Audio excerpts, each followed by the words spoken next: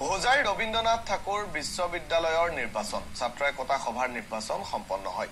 তেৰটা পদত অনুষ্ঠিত হল নিৰ্বাচন। নিৰ্বাচনত ভাৰতীয় বিদ্যাৰ্থী সেনাৰ জয়লাভ। এ বি ভি পিয়ে লাভ কৰে সম্পাদক সহ এটা পদ।